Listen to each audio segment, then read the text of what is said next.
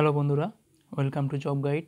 তো কিছুদিন আগে কিন্তু ডাব্লিউবিপির সিভিল ডিফেন্স কাম ইনস্ট্রাক্টরের পরীক্ষাটা হয়ে গেছে। তো সেখান থেকে কিছু অঙ্ক আমরা আজকে করব। দুটো পার্টে এই ভিডিওটা হবে। কারণ সামনেই ডাব্লিউবিপি কনস্টেবল এবং এসআই পরীক্ষাগুলো আসছে। তার জন্য কিন্তু এই ধরনের অঙ্কগুলো প্র্যাকটিস করা জরুরি। কারণ এরকম ধরনের প্যাটার্নেই কিন্তু অঙ্কগুলো আসবে। তো যে অঙ্কগুলো পড়েছি সেগুলোই আমরা সমাধান করার চেষ্টা করব। তো দেখো, এখানে একটা অঙ্ক ছিল। পি প্লাস কিউ সমান রুট থার্টিন আর পি মাইনাস কিউ সমান রুট ফাইভ যদি হয়, তাহলে পি কিউ এর মানটা কত? তো পি কিউ মানে দেখো এটা এ প্লাস বির মান দেওয়া রয়েছে মনে মনে দেখো, আর এটা হচ্ছে দেওয়া রয়েছে এ মাইনাস বি তোমাকে বার করতে হবে কি এ বি তো এ বির ফর্মুলা ছিল, কি ফর্মুলা ছিল?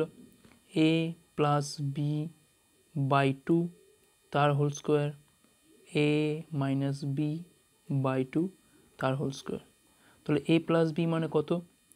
রুট থার্টিন বাই টু তার হোল স্কোয়ার তো এখানে কিন্তু এ বির মানে কি এখানে? পি কিউ ঠিক আছে? সূত্রটা আমি মনে করালাম জাস্ট তাই রুট থার্টিন বাই টু আর এখানে কত রয়েছে? রুট ফাইভ বাই টু তার হোল স্কোয়ার তো তেরো রুট তেরো স্কোয়ার করলে কত হয়? তেরোই হয়। তলায় হচ্ছে চার, ওপরে হচ্ছে পাঁচ, নিচে হচ্ছে চার। বিয়োগ করলে কত হচ্ছে? আটের চার কাটাকুটি করলে হচ্ছে কত? দুই। তাই অপশান কত হবে? অপশান সি অর্থাৎ সি সমান সমান দুই হচ্ছে রাইট অ্যান্সার এখানে কিন্তু আমাদের সূত্র কোনটা লাগল? এ বি সূত্র লাগল A plus B by two তার whole square minus A minus B by two তার হোল স্কোয়ার এটা আমাদের কিন্তু মাথায় রাখতে হবে। পরের অঙ্কটা চলো। তো তার পরের অঙ্কটা কী বলছে দেখো, একটি সুষম ষড়ভুজের অন্তকোণের মাপ কত? অন্তকোণের মাপটা আমাকে চেয়েছে এখানে। এখানে কিছু অপশন দেওয়া রয়েছে। তো একটা জিনিস বলে রাখি, যে কোনো সুষম ষড়ভুজের ক্ষেত্রে অন্তঃকোণ আর বহিকোণ মিলিয়ে কিন্তু কত হয়? একশো আশি হয়, এটা আমাদের জানতে হবে। কী হয়? এটা লিখে রাখছি আমি একটুখানি। অন্তঃকোণ যোগ বহিকোণ মিলিয়ে কত হয়? একশো আশি ডিগ্রি হয়। তাহলে আমি এর মধ্যে যে কোনো একটা জানলে সেটা আরেকটা বার করতে পারব। কিন্তু এখানে আমার বহিক্ষণ অন্তক্ষণ কিছুই জানা নেই। দেখো বহিক্ষণ বার করার সূত্র রয়েছে কি? তিনশো ষাট ডিগ্রি বাই বাহু। বাহু জানা থাকলে তিনশো ষাট ডিগ্রি দিয়ে ভাগ করলে আমরা বহিক্ষণটা পাই। তো বাহু দেখো সুষম ষড়ভুজ ষড়ভুজ মানে বাহু কত? এন সম সমান কত তাহলে? ছয়। তাহলে এখান থেকে তিনশো ষাট ডিগ্রি বাই ছয় করলে কত পাই যাচ্ছি? আমরা ষাট ডিগ্রি। তাহলে আমি যদি এবার এখানে মানটা বসাই, তাহলে কী হবে? তাহলে এখান থেকে আমরা পেয়ে যাব অন্তঃকোণের মানটা কত? একশো আশি বিয়োগ ষাট। হয়ে গেল একশো কুড়ি। একশো কুড়ি অপশান এ হচ্ছে কিন্তু রাইট অ্যান্সার তাহলে আমার এখানে কিন্তু এই প্রপার্টিটা লাগল। অন্তঃকোণ আর বহিকোণ মিলিয়ে হচ্ছে একশো আশি ডিগ্রি। এটা কিন্তু আমাদের লাগল। আর লাগল কি? বহিকোণ সমান সমান তিনশো ষাট ডিগ্রি বাই বাহু। চলো পরের অঙ্কটা দেখে নিই। তো এই যে অঙ্কটা ছিল, আমরা যে প্রথম অঙ্কটা করলাম, এটাও কিন্তু প্রায় একই রকমের অঙ্ক। কারণ দেখো, দুটি সংখ্যা সমষ্টি বলে দিয়েছে পঁচিশ, তাহলে লিখতেই পারি আমি এখানে এ সম এ প্লাস বি সমান সমান পঁচিশ। আর বিয়োগফল বলে দিয়েছে কত? এ মাইনাস বি সমান কত বলে দিয়েছে? তেরো বলে দিয়েছে। আমাকে কী বার করতে হবে? এ বির মানটা বার করতে হবে। তো একই সূত্র ফেলে দাও। এ বির মান কি? এখানে করেছি আমরা A plus B by two তার মানে পঁচিশ বাই দুই তার whole square A minus B by দুই, তার মানে হচ্ছে তেরো বাই দুই তার হোল স্কোয়ার তো পঁচিশের স্কোয়ার করলে কত হয়? ছশো পঁচিশ বাই চার হয়। এখানেও চার আছে তার চারটা লসও করে নিলাম বিয়োগ করলে কত হচ্ছে এখানে? একশো উনসত্তর। বিয়োগ করলে কত পাচ্ছি আমরা এখানে? ছয়। ছয়কে সাত, পাঁচ, হাতে রইল এক এক, একে দুই, চার। চার দিয়ে ভাগ করলে কত হচ্ছে? One one, four. তাহলে ওয়ান ওয়ান, ফোর হচ্ছে আমাদের রাইট অ্যান্সার এটাও কিন্তু ঠিক প্রথম যে অঙ্কটা করেছিলাম আমরা, সেই সূত্রটা কাজে লাগালো এখানে। কী সূত্র লেগেছে? একবার দেখে নাও revision A plus B by two তার whole square by A minus B by two তার হোল স্কোয়ার এটা কার সূত্র? এ বি সূত্র। যে কোনো ক্ষেত্রে কিন্তু এটি করলে কাজে দেবে। খুব তাড়াতাড়ি হয়ে যাবে। চলো পরের অঙ্কে যাই আমরা। এটাও খুব ভালো একটা অঙ্ক দিয়েছিল। ঠিক মতো ট্রিক না জানলে কিন্তু তোমরা পরীক্ষা হলে করতে গেলে অনেক সময় চলে যাবে তোমাদের। তো এখানে একটা মান দেওয়া রয়েছে X plus one by X সমান ওয়ান সেখান থেকে বার করতে হবে কি? X square plus three X plus one by X square plus seven X plus one তো আমরা যে মানটা দেওয়া রয়েছে, সেখান থেকে খানিকটা সিম্পলিফাই করার চেষ্টা করব। X plus one by X equal to one যা লসও করলে কত হচ্ছে? এক্স তো X square plus one equal to এটাও হলো। তাহলে এক্স স্কোয়ার প্লাস ওয়ানের মানটা কত হলো এখান থেকে? সমান সমান এক্স এবার আমরা যেটা বার করতে দিয়েছি, কী বার করতে দিয়েছে আমার এখানে? X square sorry X square plus three X plus one by X square plus seven X plus one ঠিক আছে? তো দেখো এখানে আমি জাস্ট এক্স স্কোয়ারের পাশে ওয়ানটাকে নিয়ে আসছি আর থ্রি এক্সটাকে একটু সরিয়ে দিচ্ছি। যোগের সময় করাই যায়, বিয়োগের সময়ও করা যায়। X square plus one plus seven X. Just একটাকে আমি এক্স স্কোয়ারের পাশে আনছি। এবার দেখো এখানে আমার মান বেরিয়ে গেছে কত? এক্স স্কোয়ার প্লাস ওয়ান সমান সমান কত? এক্স। তো আমি বসিয়ে দেবো এবার। X plus three X. X plus seven X. তাহলে উপরে কত হলো? ফোর এক্স হলো। নিচে কত হলো? এইট এক্স হলো। কাটাকুটি করলে কত হয়? একের দুই। তাহলে একের দুই হচ্ছে অপশান ডি। অপশান ডি হচ্ছে আমাদের রাইট অ্যান্সার। এটা কিন্তু ঠিকভাবে না করলে কিন্তু অনেক সময় যাবে। আর একটাভাবে করে যে আমি একটু বলে দিই। এখানে কী কী দিয়েছে? X plus one by X equal to one আমরা যে রাশিটা দিয়েছে, সেই রাশিটাকে আমরা এক্স দিয়ে ভাগ করে দিতে পারতাম। তাহলে ওপরে কী আসতো? ওপরটাকে এক্স দিয়ে ভাগ করলে কী আসতো? X plus three plus one by X নিচটা কী আসতো? X plus seven plus one by X এবার দেখো এক্স প্লাস ওয়ান বাই এক্সের যে মান ওপরে দেওয়া রয়েছে, এইভাবেও আমরা কিন্তু করতে পারতাম। এটাও ইজি নেক্সট চলো। তো পরের অঙ্কটা তো কী বলেছে? একটা শহরে জনসংখ্যা বলে দিয়েছে ন হাজার। যদি পুরুষের জনসংখ্যা বৃদ্ধি আট পার্সেন্ট এবং মহিলা জনসংখ্যা বৃদ্ধি ফাইভ পার্সেন্ট হয়, তাহলে বর্ধিত জনসংখ্যা কত হচ্ছে? ন হাজার ছশো। জনসংখ্যা বৃদ্ধির পূর্বে শহরের পুরুষের সংখ্যা কত ছিল আমাদের বার করতে হবে। তো আমরা এই অঙ্কটাকে এক্স ধরতে পারি আর এটা ধরতে পারি কি? ন হাজার মাইনাস এক্স এবার এর ওপর পার্সেন্টেজ চাপাবো এইট পার্সেন্ট এর ওপর চাপাবো আমরা ফাইভ পার্সেন্ট এইভাবে করে কিন্তু করতে পারতাম, তবে অনেকটা অঙ্কটা বড় হতো। পরীক্ষার হলে করার জন্য কিন্তু এরকম প্রসেসে করলে অনেকটা টাইম যাবে। তার জন্য আমরা কী করব? একটু শর্টকাটে করার চেষ্টা করব। কীভাবে করব দেখে নাও। আমরা এই অঙ্কটাতে অ্যালিগেশন মিক্সচারের যে ফর্মুলা সেরকম লাগাবো। তো দেখো, আমরা প্রথম দেখে নিই যে পুরুষের জনসংখ্যা বৃদ্ধি কত? না, আট পার্সেন্ট ঠিক আছে?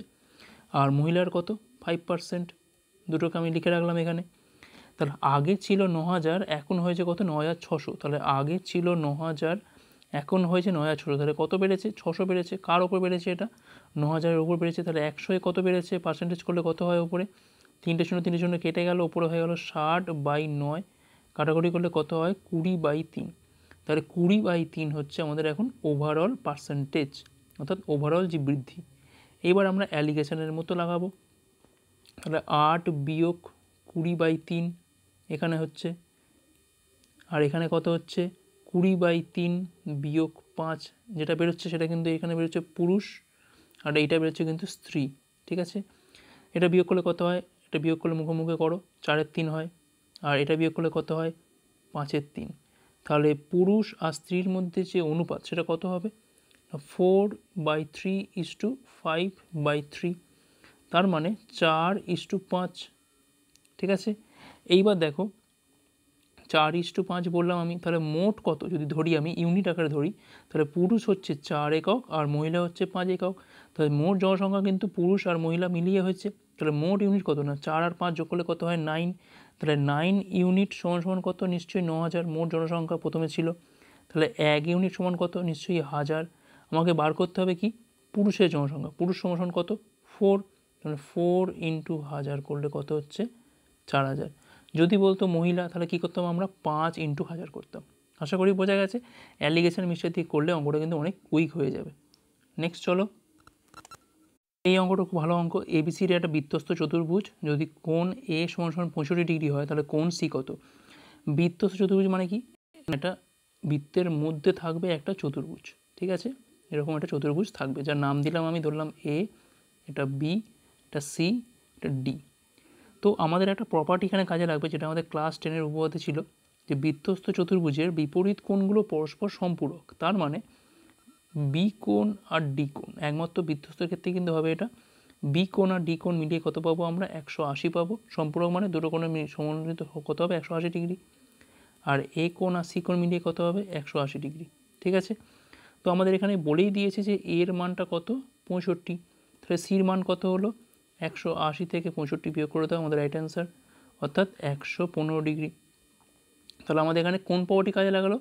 না বৃত্তস্থ চতুর্ভুজের বিপরীত কোণগুলো সবসময় কি হয়? সম্পূরক হয়। এই প্রপার্টিটা জানলাম বলে কিন্তু আমরা অঙ্কটা নিমেষে করে ফেলতে পারলাম। তাহলে এখানে কোনটা অ্যান্সার হবে? একশো পনেরো ডিগ্রি নেক্সট চলো।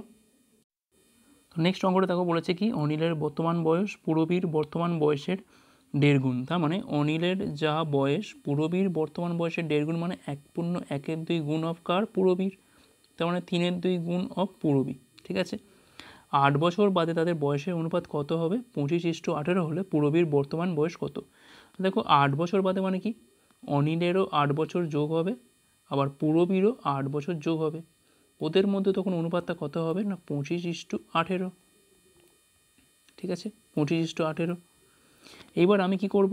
না, আমি যে কোনো একটা জায়গাতে আমি পুট করব। হয় এ সমান সমান লিখে দেবো থ্রি পি বাই টু কিংবা পি সমান সমান চেঞ্জ করে লিখব। তো আমার সুবিধা হবে কোনটা? থ্রি পি বাই টু এ সমান সমান লিখতে সুবিধা হবে কারণ আমাকে বলে দিয়েছে অনিল পুরবীর তিনের দুই গুণ বা দেড় গুণ।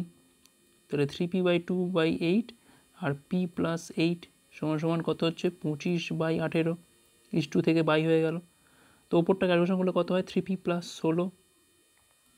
ঠিক আছে? তলায় দুই চলে আসে, সেটা কত হয়ে যাচ্ছে? টু পি প্লাস ষোলো। পঁচিশ বাই আঠেরো।